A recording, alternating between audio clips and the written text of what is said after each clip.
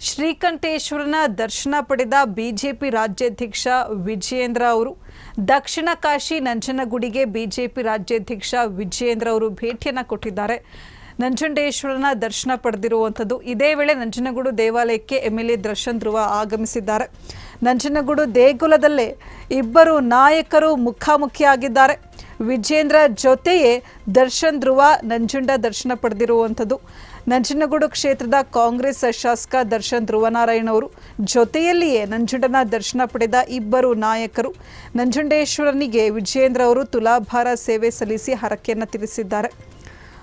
ವಿಜಯೇಂದ್ರ ಅವರು ಮೈಸೂರು ಚಾಮರಾಜನಗರ ಪ್ರವಾಸವನ್ನು ಕೈಗೊಂಡಿರುವಂಥದ್ದು. ಶ್ರೀಕಂಠೇಶ್ವರ ದರ್ಶನವನ್ನು ಪಡೆದುಕೊಂಡಿದ್ದಾರೆ. ದಕ್ಷಿಣ ಕಾಶಿ ನಂಜನಗೂಡಿಗೆ ಬಿಜೆಪಿ ರಾಜ್ಯಾಧ್ಯಕ್ಷ ವಿಜಯೇಂದ್ರ ಅವರು ಭೇಟಿಯನ್ನು ಕೊಟ್ಟಿದ್ದಾರೆ. ಇದೇ ವೇಳೆ ನಂಜನಗೂಡು ದೇವಾಲಯಕ್ಕೆ M L A Darshan Dhruva ಕೂಡ ಆಗಮಿಸ್ತಾರೆ.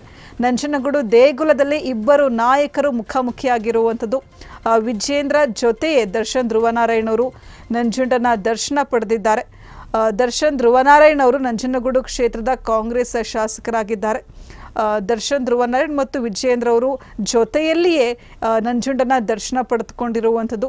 ಇನ್ನು ವಿಜಯೇಂದ್ರ ಅವರು ನಂಜುಂಡೇಶ್ವರನಿಗೆ ತುಲಾಭಾರ ಸೇವೆ ಸಲ್ಲಿಸಿ ಹರಕೆಯನ್ನು ತೀರಿಸಿದ್ದಾರೆ.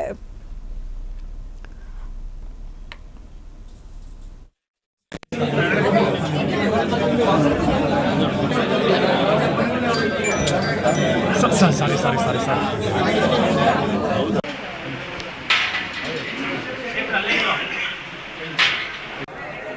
ಇವತ್ತು ಚಾಮರಾಜ ಚಾಮರಾಜನಗರ ಜಿಲ್ಲೆ ಪ್ರವಾಸ ಇದೆ.